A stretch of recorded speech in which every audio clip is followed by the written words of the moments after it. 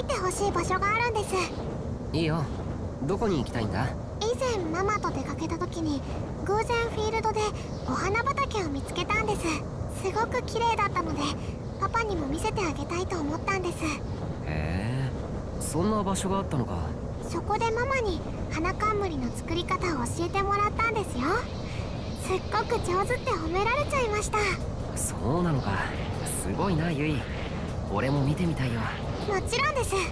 お花畑に行った時にパパにも作ってあげますね。え？俺が花冠をかぶるってことか？普通逆じゃないか？私がかぶるってことですか？ああ花冠って女の子がかぶるものだと思うんだけど。そうだったんですか。じゃあパパも私に作ってください。うん。俺はゆいと違ってうまく作れないと思うぞぐちゃぐちゃのものをかぶせるっていうのそれなら心配いりません。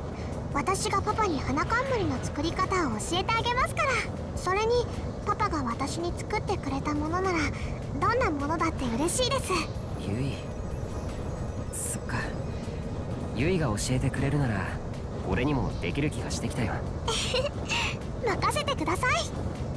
大丈夫？